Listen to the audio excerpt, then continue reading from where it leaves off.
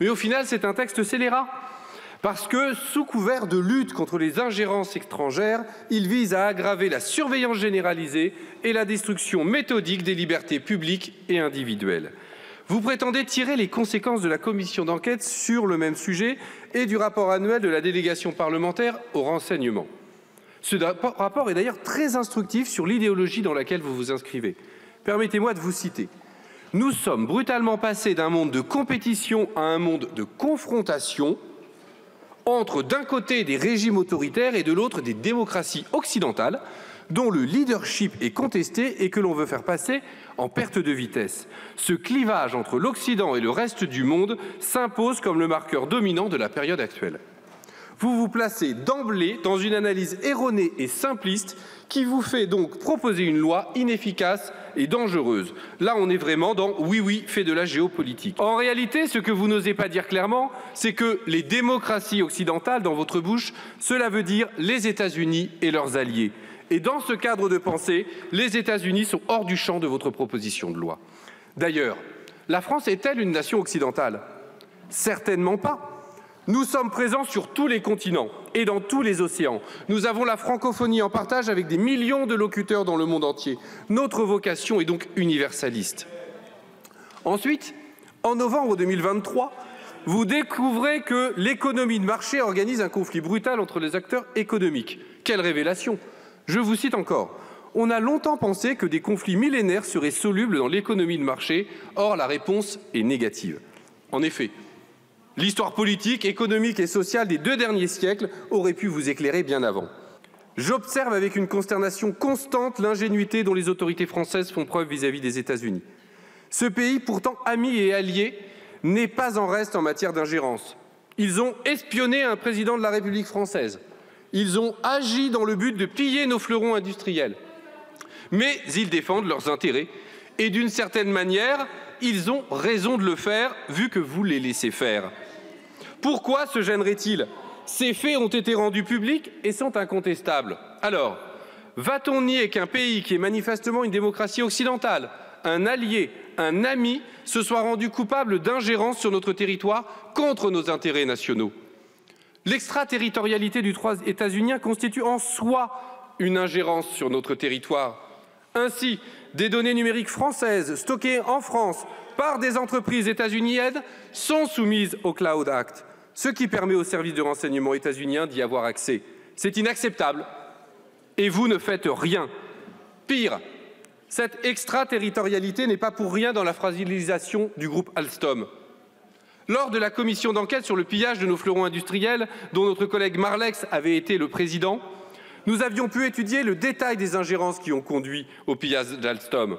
Je rappelle que ce désastre économique, industriel et moral a eu pour cause notamment l'idéologie libre-échangiste, la négligence des responsables politiques, l'oubli des intérêts vitaux de la nation, l'occultation de l'impérative transition écologique et enfin la naïveté criminelle à l'égard des États-Unis. Des leçons d'un tel désastre ont-elles été tirées? Aucune. Pire encore, des fleurons industriels ont continué à être pillés sous l'impulsion d'Emmanuel Macron. Technip, Lafarge, Alcatel-Lucent, dont sa filiale spécialisée dans les câbles sous-marins, sont également passés sous pavillon étranger. Si vous voulez lutter contre l'ingérence économique, il faudrait peut-être commencer par avoir une véritable politique industrielle. Quand une entreprise stratégique est visée par un acheteur étranger, que fait le gouvernement? Rien. Il laisse faire il n'utilise aucun des outils à sa disposition, y compris dans des domaines stratégiques. Par exemple, l'entreprise LinkSense, ancienne filiale d'Areva, spécialisée dans le domaine des microconnecteurs pour cartes à puce, elle a été rachetée par un groupe chinois et pourrait être repris par un groupe états-unien. L'interprétation, l'analyse du contenu de quelqu'un, de, de, sa liberté d'expression, en tout cas ce qu'il va mettre sur les réseaux sociaux, en disant Ah il a mis un message euh, qui peut être assimilé comme étant pro, pas pro-russe, pour ce que vous voulez. Il aurait dû être dans le répertoire il n'y est pas, donc on va le poursuivre. Ça peut être euh, un membre d'une organisation euh, non gouvernementale, euh, en fait n'importe qui, dont on suspecterait qu'il ferait pour le compte d'un mandat étranger, plus ou moins indirectement, et qu'il aurait dû être dans le répertoire. Charge à la personne qui sera poursuivie de prouver qu'elle ne faisait pas sa prise de parole ou son intervention sur les réseaux sociaux pour le compte d'un mandat étranger. C'est ça qui va être problématique, c'est que le déclenchement de la poursuite en tant que telle se fera sur un niveau d'arbitraire et de faiblesse de suspicion qui sera euh, euh, extrêmement, euh, qui, a, un filet qui est extrêmement large. Et quand le filet est large, ça veut dire que c'est le gouvernement qui dira je vais enclencher les poursuites contre telle personne, tel endroit par des signalements article 40. Parce que c'est comme ça que ça va fonctionner. C'est comme ça que ça va fonctionner. Donc nous ne voulons pas de ce monde où on fonctionne à coup d'article 40 parce qu'on pense qu'un tel ou une telle a fait des déclarations qui pourraient être rattachées pour le compte d'un mandant étranger, alors que ce serait peut-être ou pas le cas. Voilà. Un peuple prêt à sacrifier un peu de liberté pour un peu de sécurité ne mérite ni l'une ni l'autre et finit par perdre les deux. Aussi, parce qu'il est inefficace et dangereux, nous appelons à rejeter ce texte. Merci, monsieur le député. Je vous indique sur la motion de rejet préalable, je suis saisie par la reconnaissance d'une demande de scrutin public que j'annonce dans l'enceinte de l'Assemblée nationale et que j'ai reçu plusieurs demandes d'explications de vote sur la motion. Je rappelle que les explications sont de deux minutes et je passe la parole tout d'abord à monsieur le rapporteur. Bien, merci Madame la Présidente. Je, m'apprêtais à dire que cette motion de rejet préalable, par son seul dépôt, elle signait l'acte de capitulation de la France insoumise aux puissances étrangères, particulièrement à la Russie de Vladimir Poutine ou à la Chine, à la Chine de M. Xi Jinping. Ce qui n'est pas surprenant au fond, puisque euh, vous avez en adoration les régimes autoritaires et je tiens cela des, propres déclarations euh, du président de la France insoumise, M. Bompard, qui avait expliqué que le vote n'était pas l'alpha et l'oméga de la démocratie. On comprend, mieux désormais pourquoi vous avez des difficultés à identifier ceux qui, euh, identifient une, caractérisent une démocratie libérale.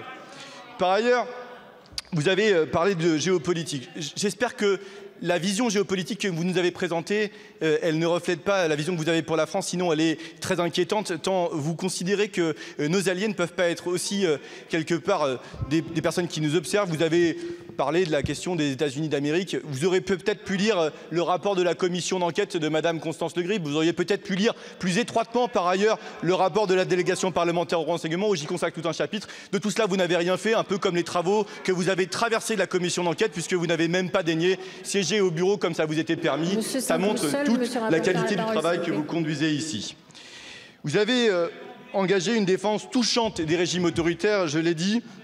Vous avez également considéré que personne ne conteste qu'il faille se protéger des, régimes totalitaires tout en démontrant tout le contraire au terme de votre intervention. Vous avez même euh, totalement éludé la défense française de notre secteur économique par l'activité de la DRSD, par l'activité du CIC, qui ont identifié et sourcé toutes les entreprises françaises, 15 000 entreprises françaises qui font l'objet de protection particulière, et pour lesquelles vous avez balayé d'un revers de manche l'activité de nos services de renseignement, des services de Bercy, comme si tout cela n'existait pas, comme si nous n'avions pas empêché l'investissement euh, ou le rachat de certaines sociétés françaises, comme si nous n'avions pas inscrit dans les lois de finances qui avaient été votées depuis le 21 de du seuil de 10% pour euh, la prise de participation au capital, comme le préconise d'ailleurs la délégation parlementaire au renseignement. Bref, tout cela fait, preuve d'un amateurisme qui, s'il n'était pas consternant, serait presque touchant. Vous avez aussi éludé euh, le travail qui a été fait par la commission des lois dans la LOPMI euh, contre les cyberattaques et les, mesures qui ont été prises en la matière. Vous avez passé sous silence le travail de Viginum qui vous a été décrit par le ministre. Vous avez totalement euh, caché la façon dont nous avons travaillé dans la loi de programmation militaire, sur la façon dont nous travaillons sur le renouvellement du carrière, en tout cas la post-carrière de nos agents militaires. Vous avez encore même pas pris la, prudence de lire l'amendement 164 pour lequel je propose une définition des ingérences étrangères auquel je vous renvoie. Vous avez repris votre, quelque part, euh, diatribe, j'ose pas dire logoré, mais c'est ce que je pense au fond habituel, euh, sur la technopolis ou les résultats antiterroristes, éludant là encore les résultats de la France et des puissances qui ont déjoué euh, un nombre conséquent d'attentats sur notre territoire. Vous avez cité Nicolas Lerner comme gage de votre propos. L'ancien directeur de la DGSI, devenu directeur de la DGSE, soutient activement, soutient activement, comme il l'a dit lors des auditions, la proposition de loi que nous présentons. Et enfin, et enfin, alors, alors que vous ne cessez de vous gosser du rôle du Parlement, alors que vous ne cessez de demander que le Parlement se saisisse de ces questions. Vous considérez que le résultat d'une commission d'enquête, que les travaux annuels de la délégation parlementaire au renseignement ne sont rien par rapport à une étude d'impact? Eh bien moi je dis que c'est la meilleure étude d'impact dont nous pouvons disposer. C'est le rôle du Parlement que de contrôler les services de renseignement. C'est le rôle du Parlement que d'être moteur dans les propositions de loi en la matière de renseignement. Pourquoi je vous demande de repousser cette motion de rejet préalable qui est presque une injure faite à notre Parlement. Merci, Monsieur le Président. Nous entamons à présent les explications de vote sur la motion de rejet avec deux minutes maximum par orateur. Le premier orateur est Monsieur Léaumont pour le groupe LFI NUPES. Merci euh, Madame la Présidente. Nous sommes très inquiets vis-à-vis -vis de ce projet de loi et c'est la raison pour laquelle nous avons déposé une motion de rejet. Vous voulez faire de la surveillance algorithmique et étendre une surveillance algorithmique dont vous nous aviez dit qu'elle serait d'abord réservée aux terroristes et puis maintenant vous voulez l'étendre sur les questions d'ingérence étrangère. Mais nous sommes très inquiets pour la raison suivante, c'est qu'en commission, voici ce qui nous a été dit. Par principe, il ne faut pas considérer qu'un représentant d'un parti d'opposition parce qu'il est en France, est bienveillant à l'égard de la France et qu'il mérite une surveillance ou des précautions moindres. Ces propos sont ceux d'un député de la majorité, de M. Philippe Pradal, qui dit donc qu'il faudrait surveiller les représentants politiques de l'opposition. Mais attendez, c'est pas fini. Il y avait aussi en commission M. Jean-Philippe Tanguy du Rassemblement national qui lui a dit notre collègue a parfaitement raison. Des députés d'opposition peuvent agir pour le compte d'intérêts étrangers. Voilà l'un des risques principaux de ce texte. Au prétexte de lutter contre les ingérences étrangères, vous voulez en réalité mettre de la surveillance algorithmique partout, et y compris, si l'on comprend bien, potentiellement sur des représentants de l'opposition. Eh bien, ma foi, si vous voulez lutter contre l'ingérence étrangère pour protéger la démocratie en utilisant des méthodes antidémocratiques et en transformant la France en autre chose que la démocratie qu'elle est pour l'instant encore à peu près en dépit des efforts que vous faites pour 49.3 après 49.3, limiter la souveraineté populaire qui s'exprime. Un texte sans étude d'impact, sans avis du Conseil d'État, quoi qu'il porte gravement atteinte aux libertés publiques, un texte minuscule. De quoi s'agit-il? Nous parlons d'ingérence, c'est-à-dire d'espionnage, de clandestinité, d'application extraterritoriale du droit, de prise de contrôle hostile sur les fleurons industriels, sur des parcelles agricoles, de campagnes de propagande, d'attaques spéculatives, de manipulation des esprits, de hackers, de cyberattaques. Et vous, benoîtement, vous nous proposez un registre de transparence Article 1. Vous nous proposez que la Haute Autorité pour la transparence de la vie publique, dont par ailleurs vous n'augmenterez pas les moyens, vous nous proposez que la HATVP piste les lobbyistes au service de quelques États. J'espère que vous mesurez le caractère dérisoire d'une telle proposition au regard des enjeux. De fait, vous contribuez à créer un nouveau concept, l'ingérence honorable. Il y a la bonne et la mauvaise ingérence. La bonne ingérence, désormais, vous l'appelez influence. Bien sûr, c'est celle qui achète les clubs de football, qui finance des grandes institutions culturelles, des expositions temporaires, des chantiers archéologiques pseudo-exemplaires. Et la mauvaise ingérence, en définitive, c'est l'action d'influence de pays que vous n'aimez pas. Vous simplifiez tout. L'ingérence ne serait une tactique utilisée que par les régimes autoritaires contre les démocraties. Ah, comme le monde serait simple à lire s'il en était ainsi. Permettez-moi de poser la question. À quoi peut bien servir un tel texte?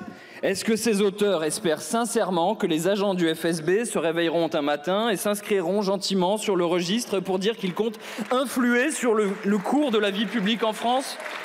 Ou bien les auteurs comptent-ils donner une certaine légitimité aux pratiques des pétromonarchies qui, au lieu de s'appuyer sur leur personnel diplomatique, comme tout un chacun, confient leur image à de grands cabinets de communication et de publicité, sans doute pour s'acheter la complaisance d'une certaine oligarchie?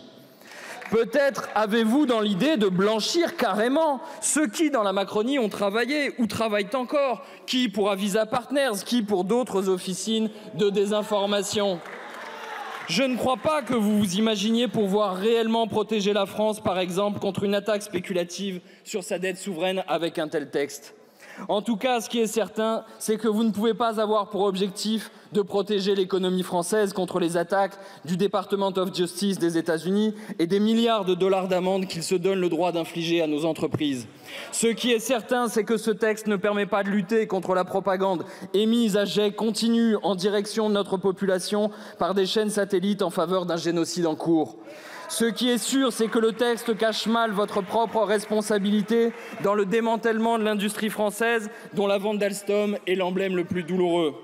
Ce qui est sûr, c'est que cette proposition de loi, dans son article 3, restreint encore et toujours les libertés publiques. Opportunément, alors qu'un texte du gouvernement vous obligeait à saisir le Conseil d'État, voici une proposition de loi venant des parlementaires et qui vous permet d'attaquer les libertés en catimini. Après avoir pris le prétexte de la lutte contre le terrorisme pour autoriser des techniques de renseignement intrusives, les auteurs proposent désormais de recourir à ces mêmes techniques dans le cadre de cette lutte très indéfinie contre les ingérences.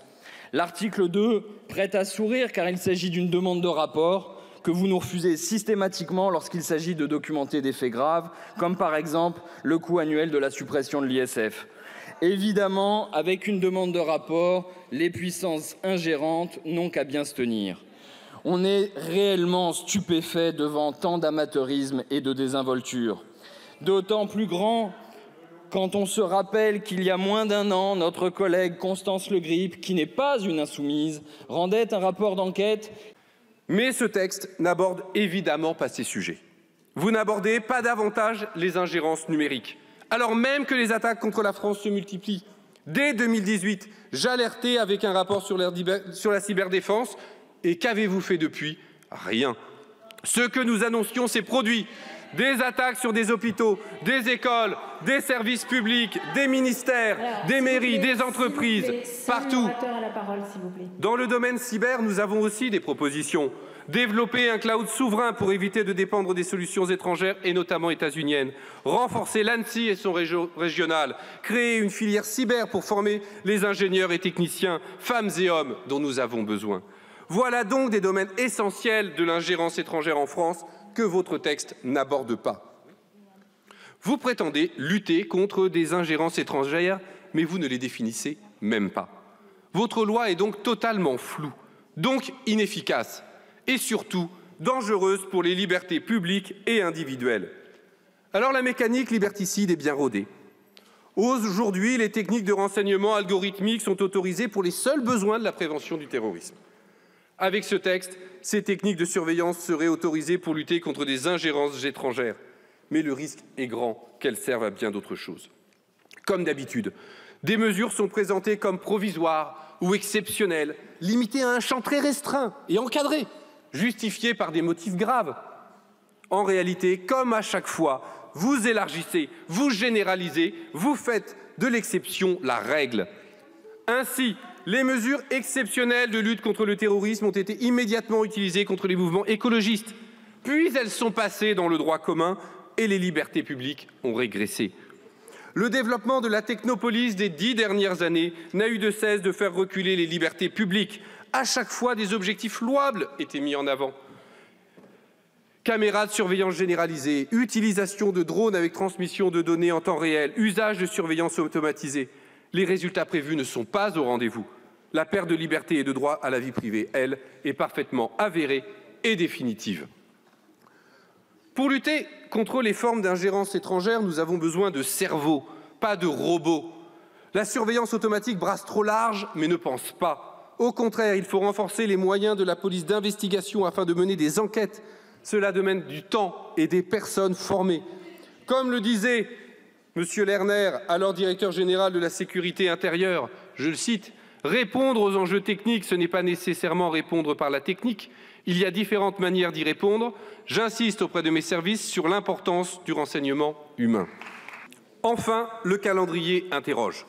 Pourquoi avoir prévu en 2021 un rapport pour faire un bilan de la mise en place de ces techniques algorithmiques qui sera rendu en juillet 2024 Soit ce rapport y sera favorable, alors sa publication vous donnerait des arguments plus convaincants que ceux que vous avancez aujourd'hui, mais peut-être, plus vraisemblablement, vous anticipez que le bilan conclura que ces techniques sont inefficaces.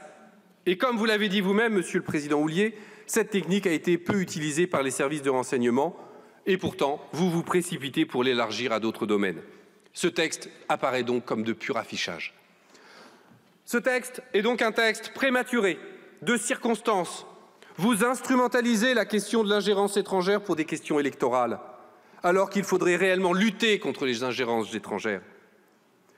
Et c'est pour ça que les autres aspects de votre proposition de loi, à défaut d'être dangereux, seront au mieux inefficaces.